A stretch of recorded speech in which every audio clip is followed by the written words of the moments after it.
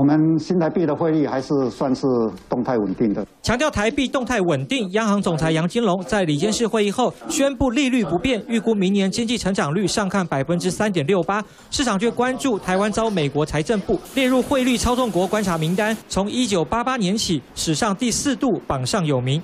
美中贸易冲突了以后呢，我们台湾的一个出口的情况跟以前呢是是是稍微不大一样的哦。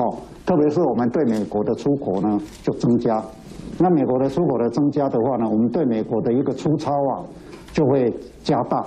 杨金龙在十二月初就曾在立院透露，因为出口表现抢眼，对美顺差持续扩大，有机会列入美方的汇率操纵国名单。因为在三大条件中，台湾符合前两项，市场关注台湾能否增加美国采购，扭转现况。美国。会针对于这些的一个国家，会进行一些贸易的谈判。那这些谈判的时候，他可能会把这个汇率操纵国这个东西拿出来，希望跟对方在谈判的时候，对方能够或升值或贬值，对美国做出比较有利的一些贸易的行为。